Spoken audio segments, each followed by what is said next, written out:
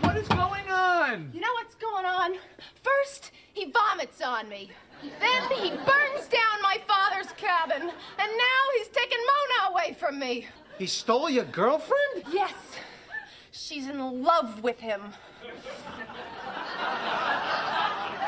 Amazing. I drive them to lesbianism, he brings them back.